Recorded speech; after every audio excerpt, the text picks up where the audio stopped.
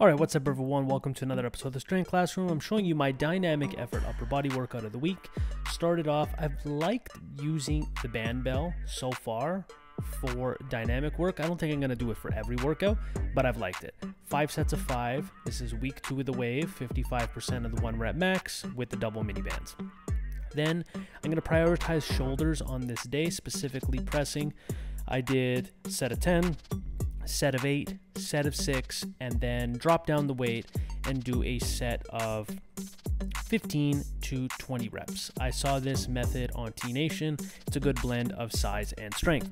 Then I moved into some rolling dumbbell extensions. I might start doing these heavier and they might get a little bit more loose with the form, but I'm gonna keep most of my sets strict.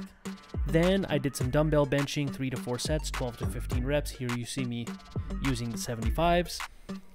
Uh, this was my second set, I believe. Then there's Meadows rows for the back, four to five sets, 12 to 15 reps. I really like Meadows rows. It's a very unique angle. Make sure you always use straps if you choose to use them.